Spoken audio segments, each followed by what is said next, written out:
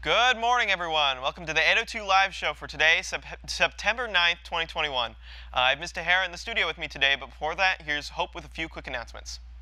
Hey guys, I'm going to start off with a quick reminder to not go into the cafe during passing periods.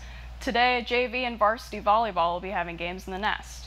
Tomorrow, ASU Swing Dance Club will be held from 1 to 3 p.m. for those interested in dance. And varsity football will be having a game against Veritas Prep at 7 p.m. tomorrow as well, so make sure you're coming out to support our team. Back to Xander. Thanks, Hope. And as I said, I have Ms. Tejera in the studio with me today, today to talk about dance. So, Ms. Tejera, can you tell us a little bit about the uh, techniques that your classes are working on right now? Yeah, so we just finished our ballet unit, so we've um, moved on to jazz. Jazz is a lot of fun.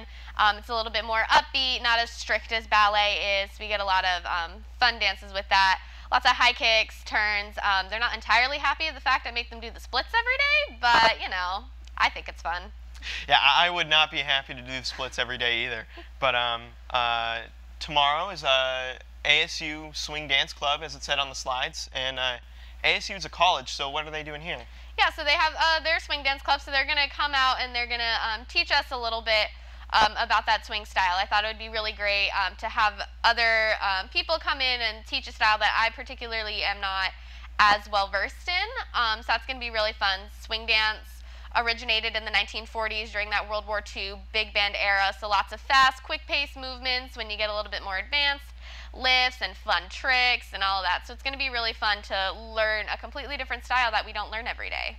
All right, and uh, next week is actually National Dance Day. Can you tell us a little bit about that? Yeah, so um, National Dance Day originated back in 2010, and um, what it is, it's a way for you to get up, get actively moving, um, and also have a means of artistic and creative expression. So every year they post, uh, the National Dance Association posts a dance video, and um, everyone's able to learn it. It doesn't have to be, um, like you don't have to be a dancer to learn it, and then you go, learn the video, uh, learn the dance through the video, and then on National Dance Day, you can perform it by either recording yourself and then posting it to YouTube or Instagram, or you can go to an event and perform the dance. But it's really fun because you can add your own style, your own little flair, and everybody can do it. And it's just a great way to get you up, moving, and having fun dancing. All right, that does sound fun. And we actually have a clip of it to show you guys, so let's check it out.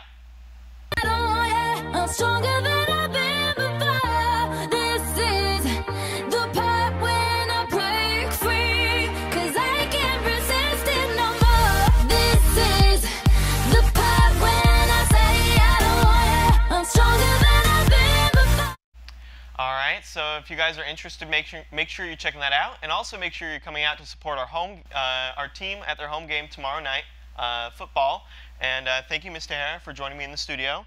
And that's all we have for you today. So make sure you're checking our slides and our social media. Why? Because we're always on air, online, and on you.